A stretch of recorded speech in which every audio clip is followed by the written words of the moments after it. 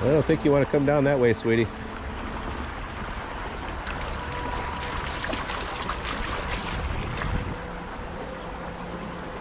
See what she does.